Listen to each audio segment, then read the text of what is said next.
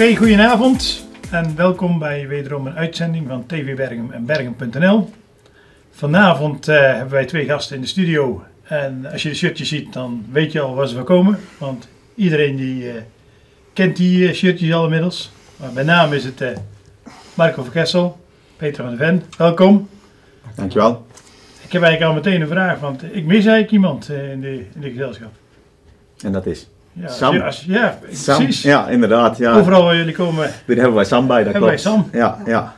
Nou, Sam was eh, vrij groot voor hier in de studio, denk ik. Ik denk dat hij alles om had gegooid. Dus misschien beter dat we zonder Sam komen deze keer. eh. Oké, maar eh, ja, ik zeg het al, overal waar jullie komen. Hè, en Sam die is erbij. En hoeveel eh, optredens hebben jullie al gehad Oh. inmiddels?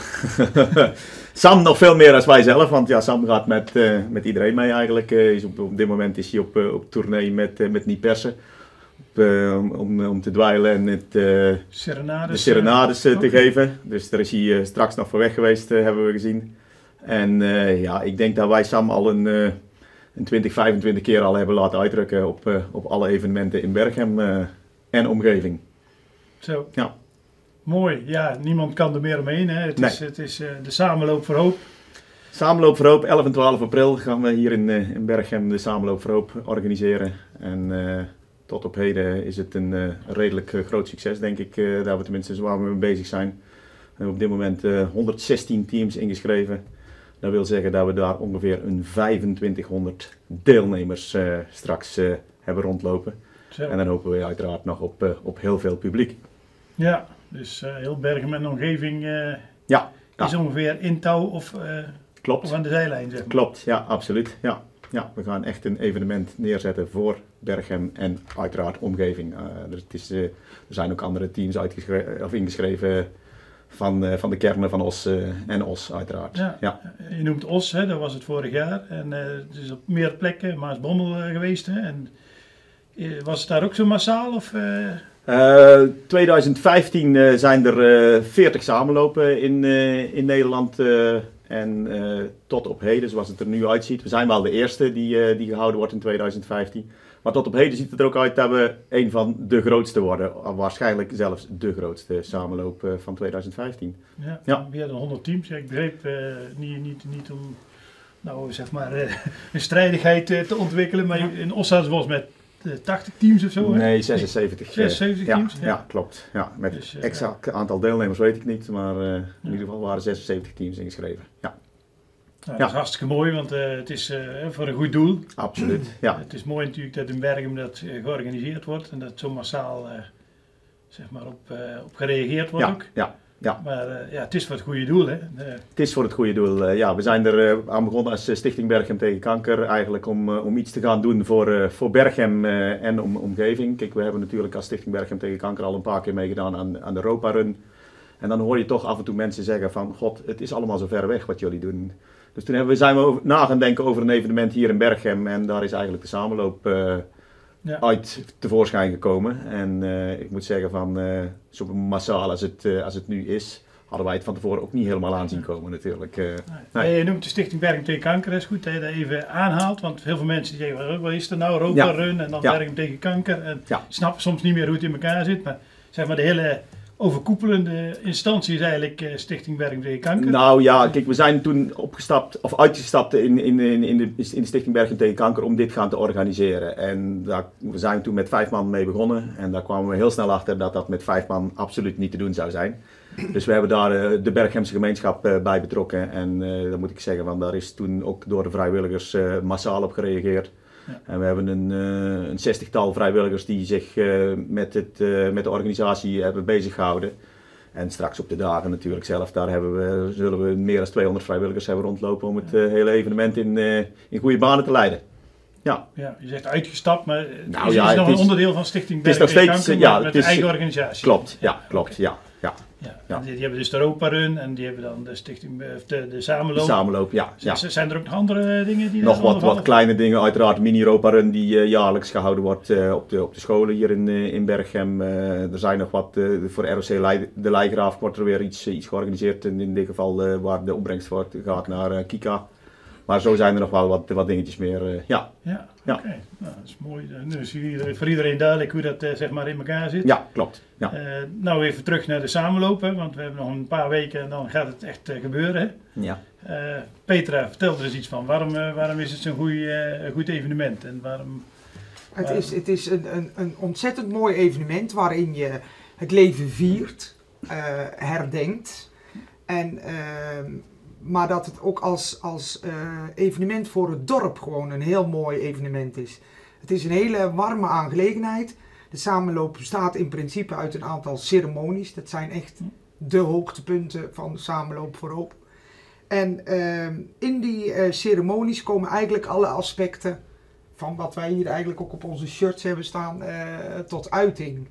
En eh, we beginnen dus met een, eh, een openingsceremonie. Waar het, eh, er is een lied eh, geschreven door een aantal eh Bergenaren. Op aangeven van teksten van kinderen van de basisscholen. Die hebben, hebben wij gevraagd van waar denk je aan als je het woord kanker hoort? En hoe ervaar jij het in je omgeving? Nou, er zijn ontzettend mooie teksten uitgekomen. Die zijn allemaal bekeken en daar is het lied uit ontstaan. Een heel mooi lied wat eh, dus eh, gepresenteerd wordt op de samenloop. Eh, daarnaast heb je dan het evenement natuurlijk het 24 uur lopen. S'avonds is er een hele indrukwekkende kaarsenceremonie. Waar dus ook mensen herdacht worden. Mensen die je, of ja, familieleden die je zelf wilt herdenken, vrienden, kennissen, iedereen kan daar, krijgt daar zijn plaatje. En dan gaat het eigenlijk ook gewoon de hele nacht door, wel op wat gedempte toon natuurlijk. Daarnaast eh, is dan 's ochtends om kwart over elf de kindersamenloop. De kinderen gaan 24 minuten lopen. Dus eh, de volwassenen 24 uur en de kinderen 24 minuten. Ja. De kindersamenloop wordt afgesloten met een hele mooie ballonceremonie. En dan eh, om twee uur natuurlijk eh, de sluitingsceremonie. Oké. En Ja. die, eh, dan gaan we het bedrag wat heel de samenloop opgeleverd heeft eh, bekendmaken. Ja. En, eh, daartussen is er natuurlijk allemaal geweldig entertainment van allerlei lokale artiesten en, en bands. En ja, iedereen is er eigenlijk bij betrokken in het dorp. ja, betrokken, iedereen, maar, maar er is ook een speciale plek voor wat jullie dan de survivors noemen, Ja. heb ik begrepen. Daar is het ook eh, is heel belangrijk. In de bergplaats op de eerste verdieping is voor de survivors een verwenplein ingericht. En eh, dat verwenplein eh, is, wordt bemand door ondernemers uit Berchem die zich heel belangeloos ter beschikking hebben gesteld voor de samenloop. En die daar de mensen echt een verwenmoment aanbieden. Dus eh, dan kun je denken aan een massage, een advies over huidverzorging, een ehm, fotoshoot met je gezinsleden of met je partner. Een, ehm, op de derde verdieping, of ja, of de tweede kan ik eigenlijk wel zeggen, wordt een verwencafé ingericht. En daar kun je gewoon even gezellig een kopje koffie drinken, kletsen met lotgenoten. Dat is ook puur en voor alleen de, voor de survivors. Ja, en dat zijn mensen die kanker overleefd hebben of die daar nog, Op dit moment nog tegen strijden. ja. Ja. De mensen die dat nog niet opgevangen, opgevangen Ja. hebben, zeg Ja. maar, dat is, eh, ja, die krijgen een speciale plek in het eh, gebeuren. Ja. Eigenlijk eh, zijn ze redelijk anoniem daar, omdat daar geen andere deelnemers van de samenloop eh, zijn dan op dat moment. Dus het is gewoon voor hun heel fijn om onder elkaar te zijn daar met eh, lotgenoten, zo kun je het eigenlijk wel zien. Het zijn onze speciale gasten in die 24 uur. En eh, zijn daar ook al veel aanmeldingen voor? Of? We hebben op dit moment 123 aanmeldingen. Oké. Ja, heel fijn. Wordt, wordt, we lekker vol daar. Ja, in de zeker. Ja, absoluut. Dus eh, een aantal teams zijn er, de survivors zijn er, eh, 200 vrijwilligers hoor ik hier al noemen. Dus Ja, als ja. ik het zo beluister, Ja, dan loopt het allemaal... Ja, we mogen wat, eh, ja, kijk, wat, wat vrijwilligers betreft, er zijn nog altijd eh, plekken over. Dus als mensen dit, eh, dit, deze uitzending zien en die zeggen van god, eh, wij willen nog wel een plekje eh, innemen op die dagen. Er is nog eh, van alles te doen eh, voor, eh, voor dat soort eh, mensen. Dus die kunnen er eigenlijk gewoon nog steeds aanmelden.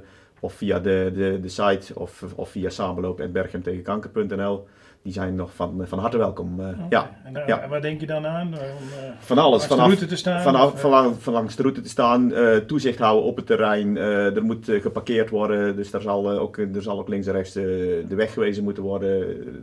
er wordt opgebouwd en afgebroken uiteraard. En dat, uh, zeker het afbreken willen we eigenlijk toch weer, uh, als het kan, met een klein beetje verse krachten gaan doen. Uh, niet de mensen die al 36 uur in touw zijn, om die daar ook weer laten gaan, te laten gaan sjouwen.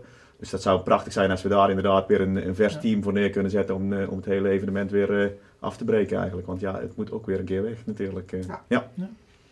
ja.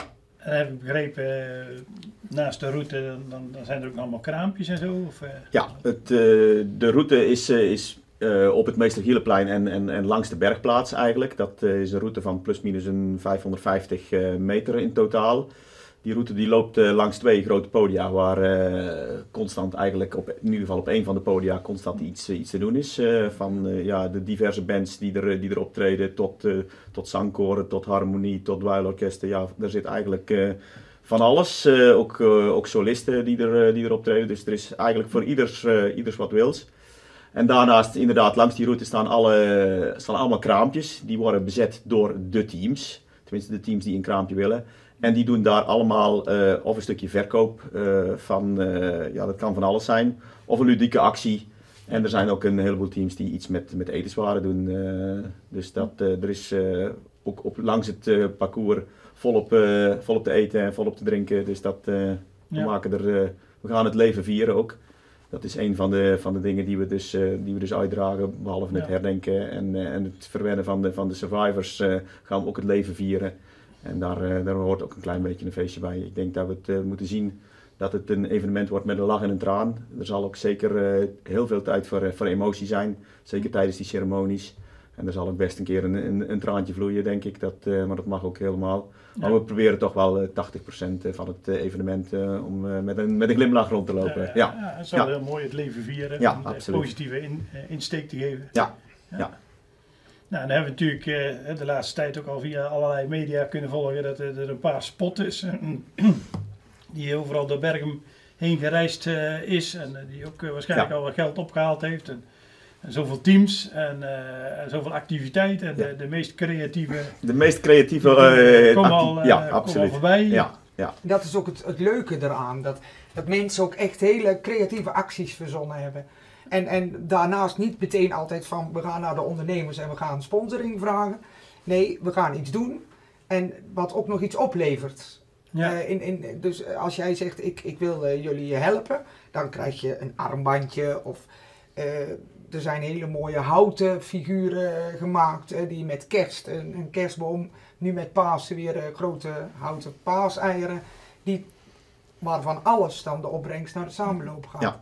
En dan natuurlijk uh, de paarse pot, maar zo zijn er heel veel acties al geweest. De Dance for Hope. De Dance for Hope afgelopen weekend. Ja, ja, het is natuurlijk moeilijk om te zeggen of dat er een favoriet bij zit. Zegt, hey, ja, dat nee, hadden wij nooit verwacht. die uitspraken gaan wij niet doen, dat we, dat we een favoriet hebben. We hebben natuurlijk, uh, ja, uiteraard, we, hebben, we doen ook overal aan mee zelf. Dat, uh, kijk, met Dance for Hope zijn we ook, uh, zijn we ook met z'n allen geweest. En het was een, gigant, ja, een, een gigantisch evenement. Ja. En als je dan bekijkt dat dat inderdaad door de jeugd van Berghem georganiseerd wordt, dan... En ik denk, we hebben, ze hebben het bedrag nog niet bekendgemaakt. Dat gaan ze ook voor ons nog als een verrassing houden. Maar ik denk dat daar ook een geweldig bedrag uit gaat komen. Ja. En ook ja. zondag Bergen Sport heeft in Paarse tenues gespeeld. Ja, wel verloren. Samenloop. Ja, heel jammer. ja. Maar wij hebben daarnaast ook uh, shirts verkocht voor de kindersamenloop. Waarbij uh, de kinderen hun naam op konden geven. En waar dan door een lokale ondernemer gratis de naam op het shirt gezet wordt. Waar de kinderen dan de samenloop inlopen. Ja, heel mooi. Ja.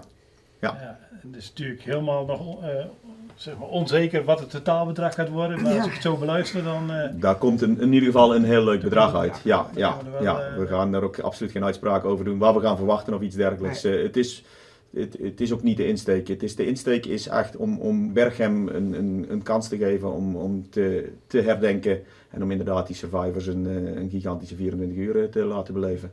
Ja. Dat is eigenlijk het hoofddoel. Dus als we het bedrag willen weten, dan moeten we gewoon zorgen dat we bij de slotceremonie... Bij de slotceremonie, eh, ja, om twee uur begint die en eh, ja, we zullen ergens eh, rond kwart over twee, het is kwart over twee en half drie, zal er ergens dat bedrag bekend gemaakt gaan worden. Dus op het moment dat, ik hoop dat jullie er allemaal zijn en dan zullen wij hopelijk een, een heel mooi bedrag kunnen overhandigen aan, aan KWF. Ja, Ja. KWF komen ze de, de, Ja. check ophalen. Ja, zeg maar. KWF, eh, we hebben een, een, een KWF-vrijwilliger die ook eigenlijk een- ons eigenlijk een klein beetje begeleidt. En daar gaan wij ook het, eh, het, de check aan uitreiken. Die heeft dat eh, gewoon verdiend met, eh, met hetgene wat hij voor ons gedaan heeft. Eh, ja, Nou, klinkt allemaal eh, heel mooi. Een heel mooi initiatief. En het loopt op rolletjes. En eh, tot op, eh, tot op heden loopt het in ieder geval allemaal, eh, allemaal op rolletjes. De laatste loodjes wegen absoluut het zwaarst. Dat, eh, dat zullen we, en we zullen ook best nog een, een paar dingen tegenkomen die dan op dat moment niet op rolletjes lopen. Maar we gaan er eh, de schouders onder zetten. En ik denk dat wij eh, hier op 11 en 12 april een gigantisch evenement neer gaan zetten. Ja. nou, Het enige wat we niet in de hand hebben is het weer natuurlijk. Dat, eh, ja, daar moeten we met z'n allen maar even op hopen dat dat ook gewoon goed zal zijn. Of in ieder geval droog. Dan, dan denk ik dat we het redelijk voor elkaar zoals ze in Denemarken zeggen, slecht weer bestaat niet alleen slechte kleding. Dus Ja, dat, ja. Even een jas aan Ja. ja, dat klopt. Dus Ja, Ja. we gaan er hoe dan ook een, een mooi evenement van maken volgens mij. zeker weten. Ja, Ik, eh, ik kijk er ook al naar uit. Bedankt dat jullie eh, dit even wilden toelichten. De laatste zeg maar, eh, stand van zaken. Ja. Ik wens jullie heel veel succes om de laatste twee weken zeg maar, ja, goed. voorbereiding nog even, even die laatste loodjes door te komen. En dan, eh, dan gaan we ervoor. Absoluut. We. Ja. Bedankt voor jullie eh, tijd en eh, tot ziens. ja, ook bedankt voor jullie tijd. En ik hoop dat ik alle kijkers eh, mag verwelkomen op 11 en 12 april eh, rondom de bergplaats. Na deze woorden dan Kan niet missen. kan het bijna niet meer missen. Nee. Goed, dankjewel. Dan wil ik hierbij eh, de uitzending eh, eh, beëindigen. Eh, ik denk dat we een hele leuke reportage hebben gehad en eh, een mooi evenement tegemoet kunnen zien. Alle kijkers eh, bedankt voor het kijken en eh, tot ziens natuurlijk bij de samenloop.